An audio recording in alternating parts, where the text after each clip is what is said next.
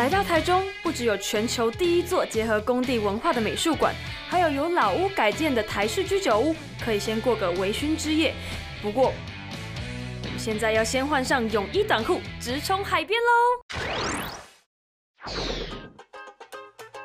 台湾有非常多有名的海岸，像是北有福隆，南有垦丁，那台中有台中有一个叫大安，有听过吗？没有？其实大安那套想，哎，在哪在哪？它其实离台中市区开车也不过一个小时的车程，所以其实只需要一个小时就可以从台中接近阳光、接近沙滩、接近比基尼。哎，不好意思，这位兴奋的先生，我们今天有阳光、有沙滩，但是没有比基尼，不好意思。啊，要再等一下哦。但我们今天的任务应该不只有吹吹海风、踏踏浪吧？我们今天是要来挑战一个极限运动，叫做风筝冲浪。那我们现在所在位置可说是冲浪圣地喽。没错。那我们赶快去找教练教我们如何的风筝冲浪。那等一下，我们为了让教练见识到我们这个挑战的决心，我们就一边冲浪一边过去好。没问题，这我会。Go，教练，教练，我们来了。穿上救生衣，着装完毕。只是在正式下水前，要先在沙滩学习控制风筝的方法，以及体验风筝强大的拉力。风筝的控制哈，我们是。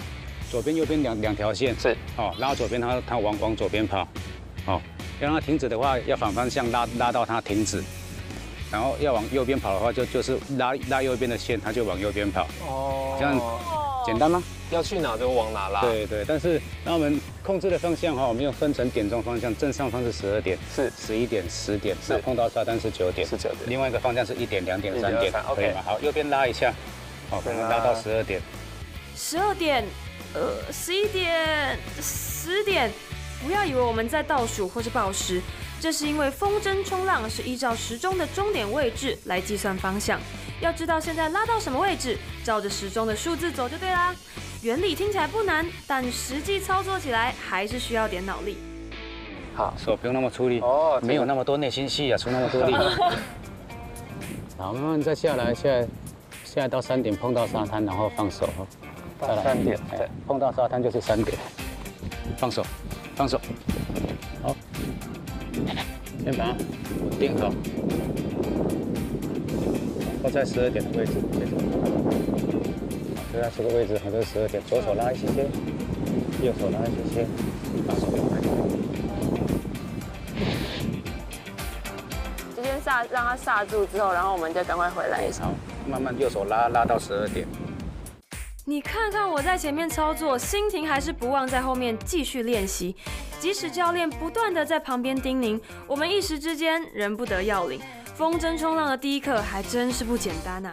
刚教练教我们怎么把那个风筝，你刚刚应该是跟我学同一套吧？对，是啊。对，就这个风筝从把它从从我们的正头上十二点钟，那你要怎么把它调调调到偏这边十一点、十点、九点呢？或者这边一点、两点、三点，这个这个操作技巧，说实在，我觉得。非常困难。对，因为我们刚才一开始最初阶的课程就是叫我们控制方向，然后教练说，哦，就跟骑机车一样，你就这样要左转，你就这样右手伸出去；啊，你要右转，你就左手伸出去。对，所以这跟我想象的不太一样，因为我一开始以为要控制这个风筝是要很用力的这样子，对对。但其实它是一个算是比较精巧的技巧型的活动，就是你要怎么控制，哎，过去然后再拉回来一下，只要你控制的好，其实你不用用到全身的力量也可以完成这个。控制方向的部分是，那我们刚刚是在走时钟嘛？我们从这个九点呢一路走到三点，但我们还不会从三点或者从九点走起来。我们觉得我们还要再去找教练学一下怎么起飞。对，起飞是最重要的环节。走吧。尖叫、踉跄、放手，然后摔风筝。幸好我们跟教练之间绑着命运共同线，不然风筝的拉力大到刹都刹不住，差点就要吃的满嘴沙子，屁股都快磨破了啦。那你觉得我们今天的目标就是有冲起来就好，还是你你有想要想要什么什么特技还是什么花式？没有，我今天目标就是不要落水。怎么可能不落水？教练说这个如果要，哎，我们等一下只能做。然后教练说如果这个要站起来的话，其实要经过两天的训练，还是要不然我们就把目标定在两天。哦，超乎常人的成长。我们是当一个天才儿童的概念的。对，怎么样？一天我们就学完两天的课程。对，你觉得怎么样？我觉得是值得挑战。好，那我们就以这个为目标，以站起来为目标。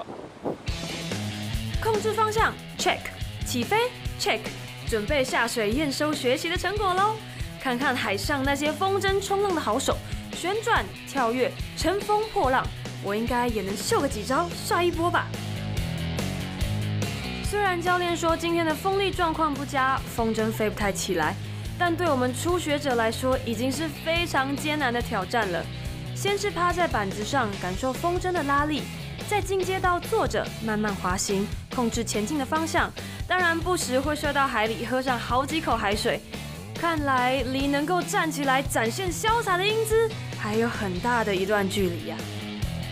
婷婷，怎么样？看到我在海上的英姿了吧？那种速度感前所未有。我觉得你像那种海上那种海豚，有没有？就奔驰在海上，海上那种万万马奔腾那种感觉。我个人是觉得，虽然我刚才没有滑得很好，但是我有信心下次再来挑战，因为我觉得这个东西对我有种魔力，有种吸引力，就是跟你冲浪的感觉又不一样，是风筝的大自然的力量带着你跑，我很喜欢，决定下次要继续再来挑战。好，再来玩，再来玩。